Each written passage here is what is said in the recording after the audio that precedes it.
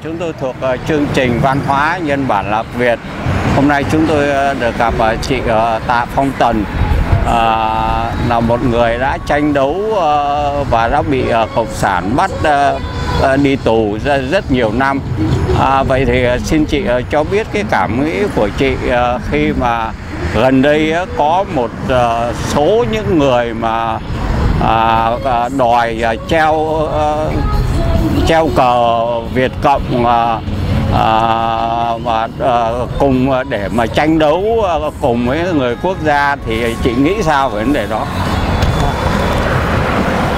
Xin uh, trân trọng kính chào uh, khán giả đang xem chương trình của uh, văn văn hóa nhân bản lạc Việt.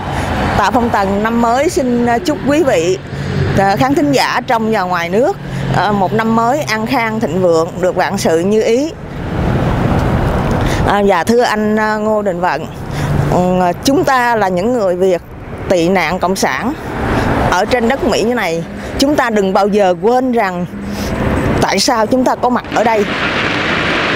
Chúng ta đã chạy trốn cái chế độ độc tài của cộng sản Việt Nam. Bao nhiêu người đã hy sinh, bao nhiêu người đã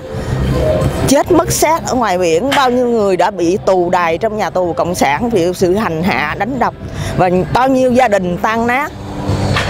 Chúng ta đừng bao giờ quên điều đó. Nếu tại đó là một cái nỗi đau của những người tị nạn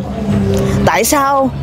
chúng ta lại chấp nhận cho lá cờ cộng sản được xuất hiện ở cái nơi của chúng ta? Những người nào có cái quan niệm rằng à, hòa hợp hòa giải dân tộc. À, mang cái lá cờ cộng sản đến nơi này để là đoàn kết với thanh niên ở trong nước. Cái quan niệm đó là sai lầm. Đó là chưa hiểu gì về bản chất phụ nữ của cộng sản. Quý vị thử nghĩ xem nếu bây giờ có những người vác cái lá cờ chữ thập ngoặt của Hitler mà đi vào trong cái khu do thái thì quý vị nghĩ như thế nào? Những người do thái, họ có chịu để yên cho ai làm cái việc đó hay không? Đó là khơi dậy là đâm vào cái vết thương trong lòng của người ta. Một cái vết thương mà khó có thể hàn gắn, khó có thể quên được. Hiện nay cộng sản đang muốn lợi dụng cái túi tiền của kiều bào ở hải ngoại. Tại sao cộng sản không hòa giải với những người là người việt ở campuchia? Người việt ở lào mà cứ là chạy sang hòa giải với người việt ở bên mỹ hay ở bên liên âu. Hoặc là tại sao cộng sản muốn hòa giải, hòa hợp mà không hòa giải với các thương phế binh việt nam cộng hòa ở trong nước? Bao nhiêu lần những người thương phế binh đó đã được cái sự giúp đỡ của đồng bào hải ngoại một chút quà mọn gửi cho những cái con người thân tàn ma dại đã bao nhiêu năm sống vất vưởng như chế độ cộng sản, bị khinh rẻ, bị phân biệt đối xử, nhưng những người thương phế binh đó vẫn bị là chà đạp, vẫn bị ức hiếp, vẫn bị tước đoạt một chút quà nhỏ mọn, rồi vẫn bị làm khó làm dễ người Việt hải ngoại bên này không cần phải hòa giải với cộng sản mà mà đối với người ở trong nước thì chúng tôi cũng không cần phải hòa giải. Tại vì đối với người ở trong nước chúng tôi đâu có bao giờ bất hòa. Chúng tôi chỉ không thích cộng sản, căm thù chế độ cộng sản và không muốn chế độ cộng sản xuất hiện ở cái nơi mà người ta đã chạy trốn nó và càng không muốn gợi lại những cái kỷ niệm đau thương trong lòng của người ta. Chị ờ, chị có nghĩ rằng thì ờ, chúng tôi được cái tin là Ờ, ờ, ờ, chị cứ cầm này chị có nghĩ rằng thì chúng tôi được cái tin là có đây là nó nằm trong cả một cái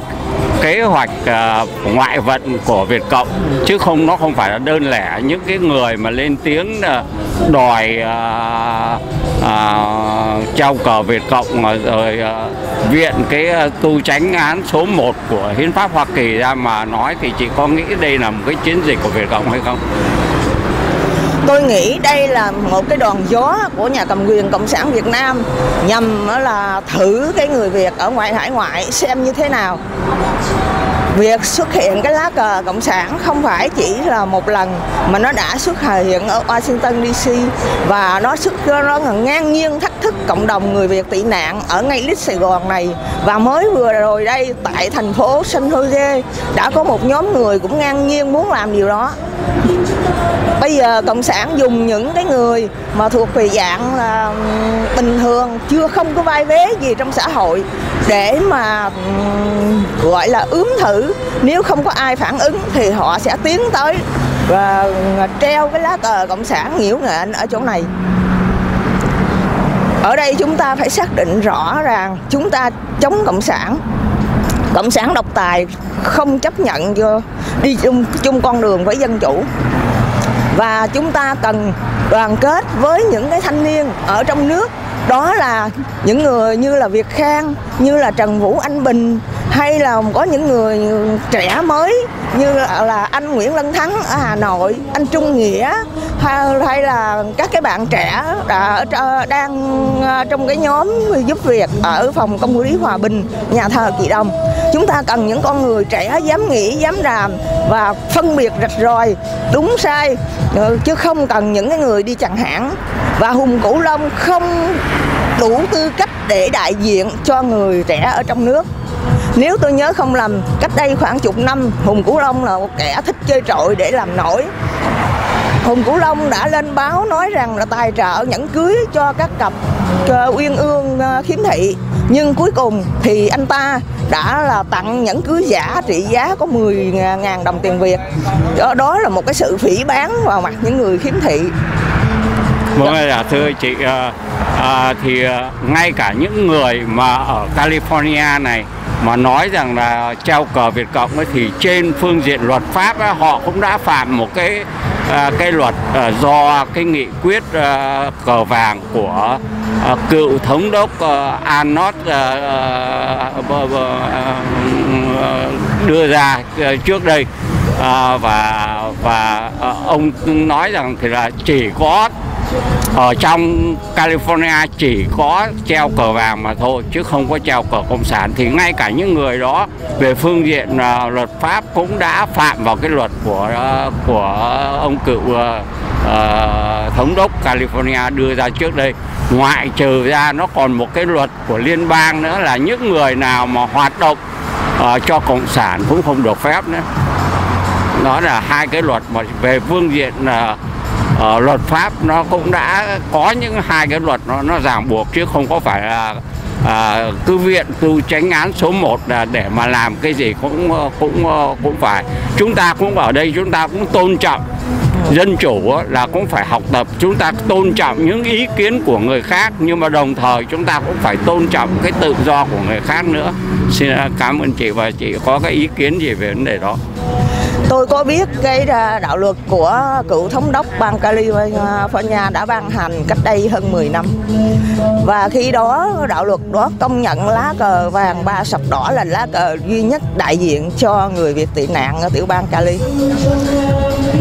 Đó cũng là ý chí và nguyện vọng của người Việt hải ngoại ở cái tiểu bang Cali này. Ở một cái xứ dân chủ tự do như ở Mỹ thì luật là do ý của dân người dân làm ra luật chứ không phải luật là áp đặt từ trên do xuống dưới do một cái đảng nào đó là đưa ra vì vậy việc bảo vệ và giữ gìn cái lá cờ vàng ba sọc đỏ cũng như việc không chấp nhận ờ, lá cờ đỏ sao vàng của nhà cầm quyền cộng sản Việt Nam xuất hiện ở trên cái mảnh đất Cali này đó là ý chí của người dân ở Cali này và điều này là hoàn toàn hợp pháp. Vâng, thưa chị, ờ, chị nghĩ sao sao về cái việc mà thành phố Westminster họ đã đặt cái tên uh, đường Trần Đại lộ Trần Hưng Đạo trên một cái trục lộ mà chúng ta đang đứng đây là trục lộ bonsa thì cái cảm nghĩ của chị như thế nào? Khi nghe tin à, thành phố Westminster đã đặt tên con đường Bonsa này trở thành tên Bonsa Trần Hưng Đạo, tôi cảm thấy vui mừng và hãnh diện. Tại vì tên Trần Hưng Đạo là của một vị anh hùng dân tộc của người Việt Nam. Từ đây được sẽ được thế giới biết đến rộng rãi hơn, nhiều hơn. Đó là một cái niềm tự hào của dân tộc Việt Nam.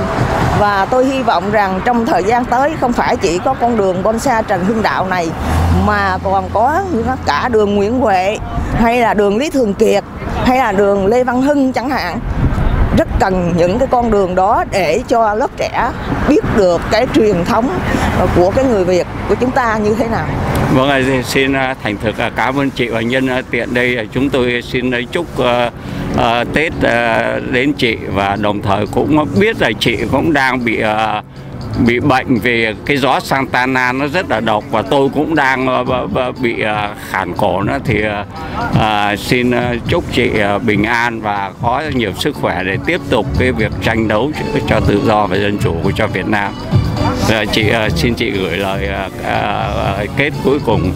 Dạ, cảm ơn anh à, Ngô Đình Vận. Cảm ơn chương trình Nhân bản Lạc Việt đã cho Tạ Phong Tần có cơ hội phát biểu ý kiến của mình à, trước quý thính giả. À, xin à, một lần nữa xin kính chúc tất cả đồng bào hải ngoại trong và ngoài nước một cái mùa xuân an khang thịnh vượng và một cái tương lai không phỏng sản. Xin chào. Vâng, xin cảm ơn chị.